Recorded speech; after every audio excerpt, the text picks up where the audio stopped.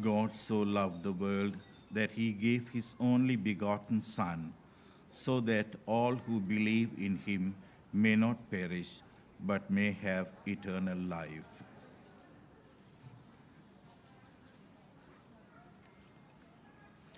In the name of the Father, and of the Son, and of the Holy Spirit. Amen. The grace of our Lord Jesus Christ, and the love of God, and the communion of the Holy Spirit be with you all, and with your spirit. My dear brothers and sisters, to celebrate these sacred mysteries, let us call to mind our sins.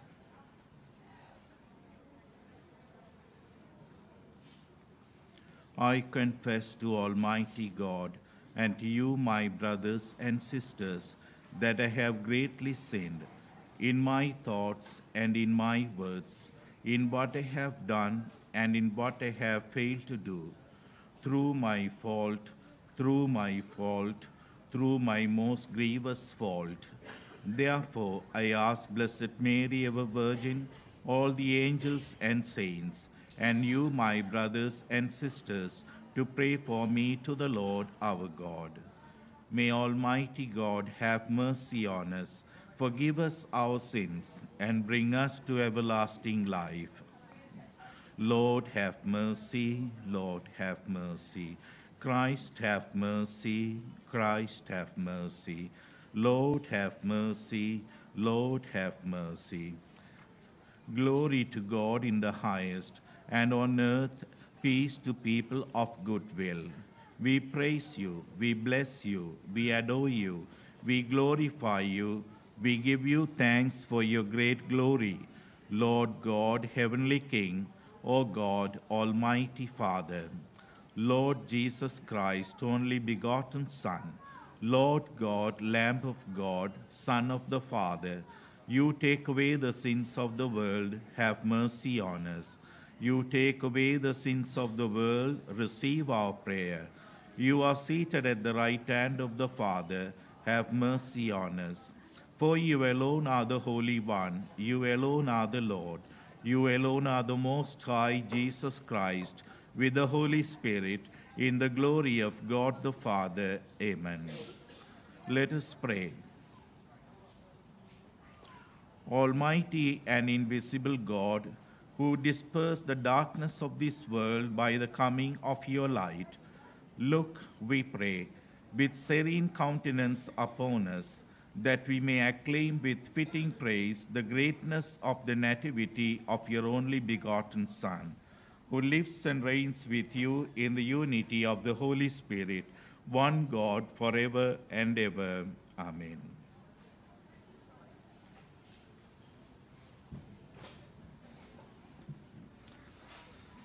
A reading from the first letter of St. John. We can be sure that we know Jesus only by keeping his commandments. Anyone who says, I know him, and does not keep his commandments is a liar, refusing to admit the truth. But when anyone does obey what he has said, God's love comes to perfection in him we can be sure that we are in God only when the one who claims to be living in Him is living the same kind of life as Christ lived.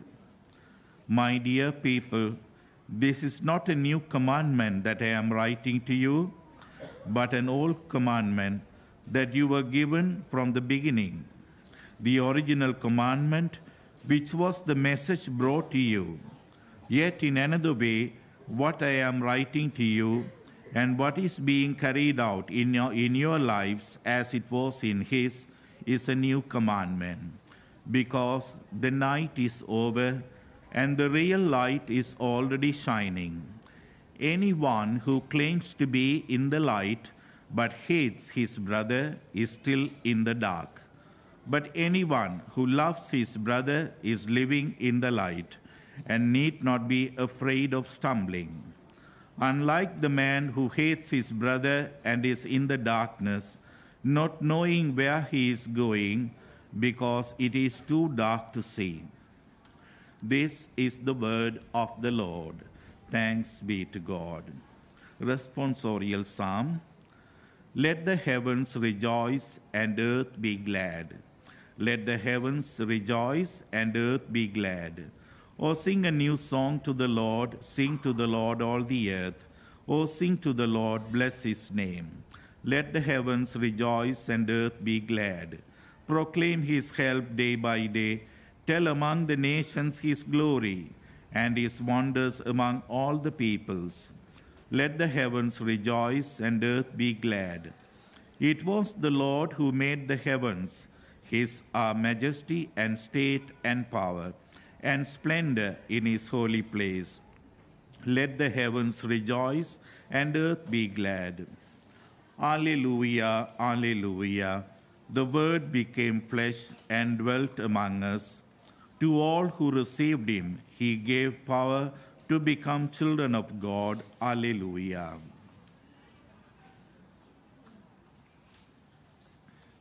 The Lord be with you and with your spirit. A reading from the Holy Gospel according to Luke. Glory to you, Lord.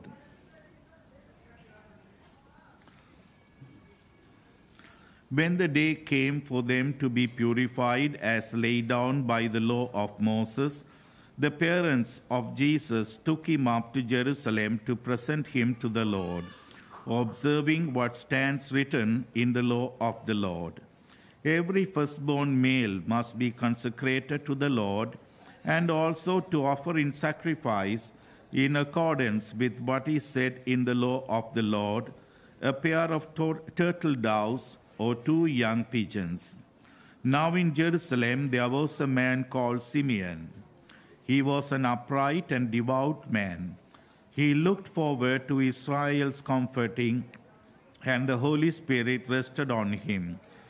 It had been revealed to him by the Holy Spirit that he would not see death until he had set eyes on Christ of the Lord.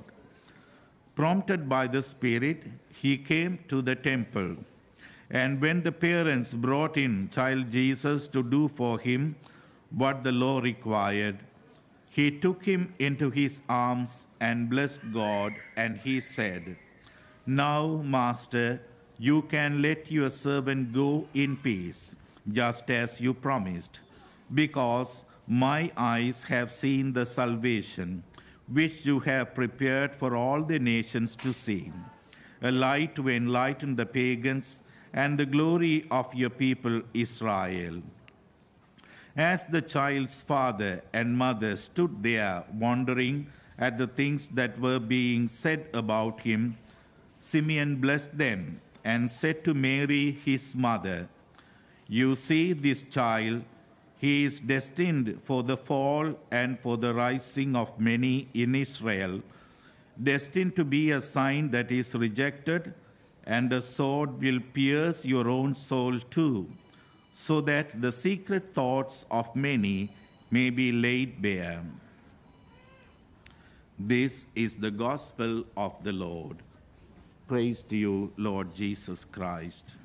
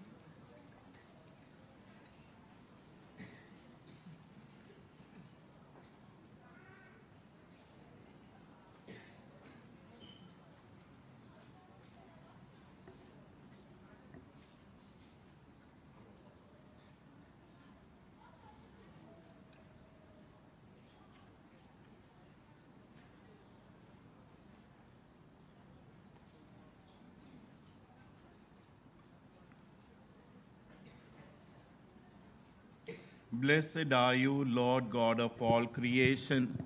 Through your goodness we have received the bread we offer you, fruit of the earth and work of human hands. It will become for us the bread of life. Blessed be God forever. By the mystery of his wine, may we come to share in the divinity with Christ, who humbled himself to share in our humanity.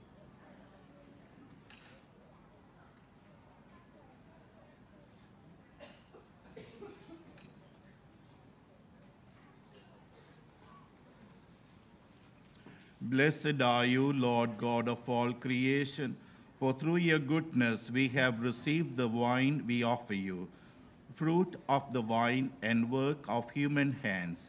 It will become our spiritual drink. Blessed be God forever. With humble uh, spirit and contrite heart, may we be accepted by you, O Lord. And may your our sacrifice in this sight this day be pleasing to you, Lord God.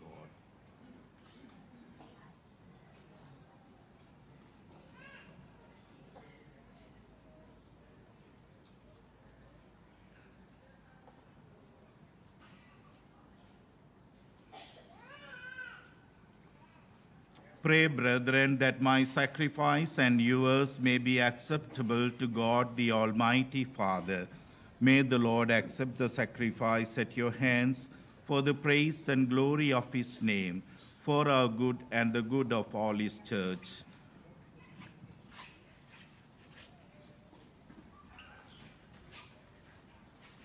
Receive our oblation, O Lord, by which is brought about a glorious exchange, that by offering what you have given, we may merit to receive your very self through Christ our Lord. Amen. The Lord be with you and with your spirit. Lift up your hearts. We lift them up to the Lord. Let us give thanks to the Lord our God. It is right and just. It is truly right and just, our duty and our salvation, always and everywhere to give you thanks, Lord, Holy Father, Almighty and eternal God, through Christ our Lord. For on the feast of this awe-filled mystery, though invisible in his own divine nature, he has appeared visibly in ours, and begotten before all ages, he has begun to exist in time, so that raising up in himself all that was cast down, he might restore unity to all creation and call straying humanity back to the heavenly kingdom. And so, with all the angels, we praise you, as in joyful celebrations we acclaim.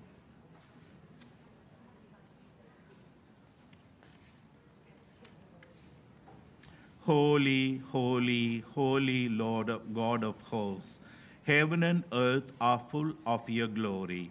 Hosanna in the highest. Blessed is he who comes in the name of the Lord. Hosanna in the highest.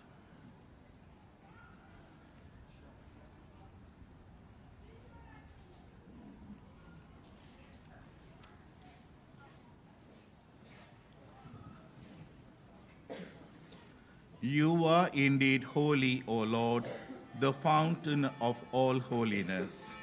Make holy, therefore, these gifts, we pray, by sending down your Spirit upon them like the dewfall, so that they may become for us the body and blood of our Lord Jesus Christ.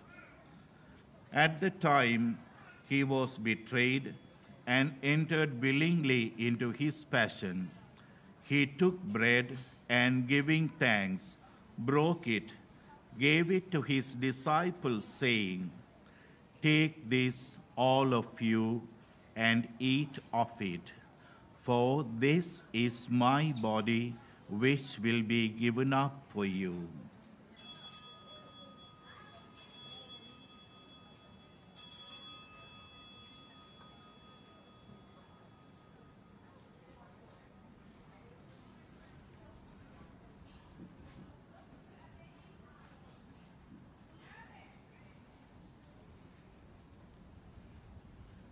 In a similar way, when supper was ended, he took the chalice and once more giving thanks, he gave it to his disciples, saying, Take this, all of you, and drink from it, for this is the chalice of my blood, the blood of the new and eternal covenant, which will be poured out for you and for many for the forgiveness of sins. Do this in memory of me.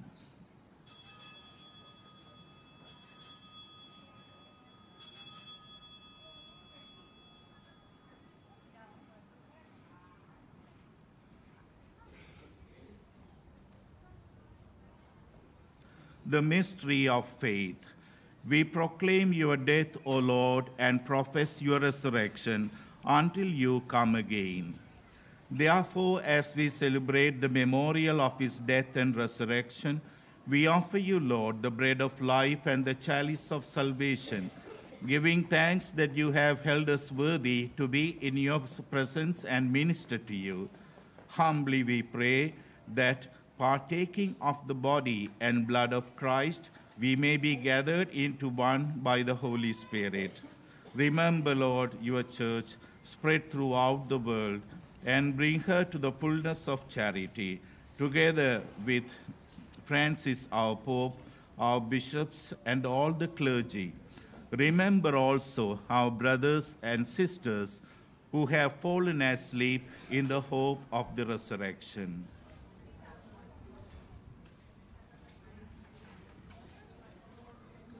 and all who have died in your mercy.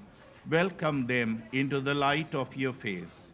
Have mercy on us all, we pray, that with the Blessed Virgin Mary, Mother of God, with the blessed apostles, and all the saints who have pleased you throughout the ages, we may merit to be co heirs to eternal life, and may praise and glorify you through your Son, Jesus Christ. through him, in and with him, and in him. O God, Almighty Father, in the unity of the Holy Spirit, all glory and honor is yours forever and ever.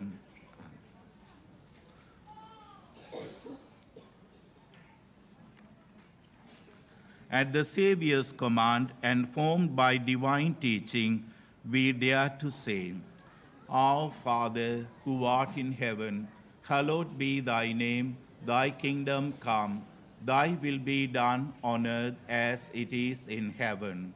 Give us this day our daily bread, and forgive us our trespasses, as we forgive those who trespass against us. And lead us not into temptation, but deliver us from evil. Deliver us, Lord, from every evil, and grant us peace in our day. In your mercy, keep us free from sin, so we may be always free from sin and safe from all distress, as we await the blessed hope and the coming of our Savior, Jesus Christ. For the kingdom, the power, and the glory are yours now and forever. Lord Jesus Christ, you to your apostles, Peace I leave you, my peace I give you. Look not on our sins, but on the faith of your church, and grant and graciously grant her peace and unity in accordance with your will, who live and reign forever and ever. Amen. The peace of the Lord be with you always. Let us offer each other the sign of peace.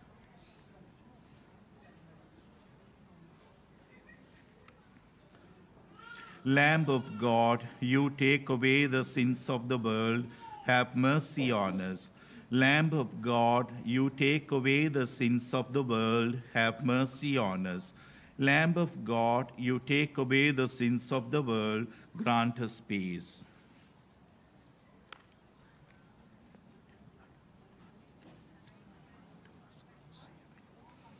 Lord Jesus Christ.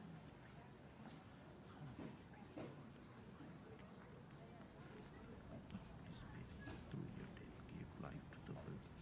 Free me by this, your most holy body and blood, from all my sins and from every evil. Keep me always faithful to your commandments and never let me be parted from you.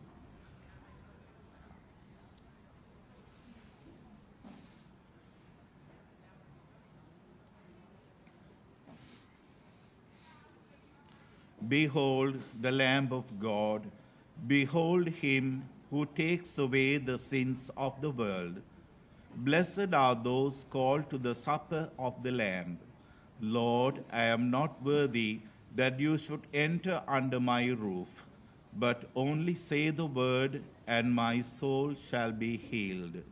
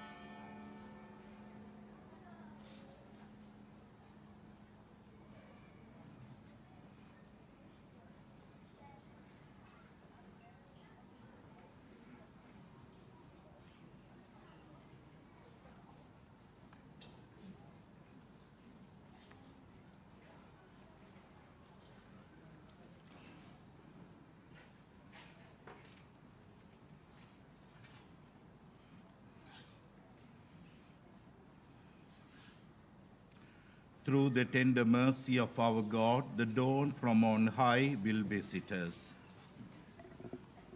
Let us pray.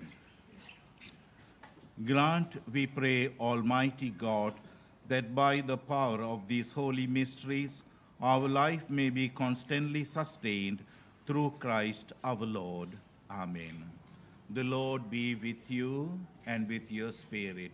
May Almighty God bless you, the Father, the Son, and the Holy Spirit.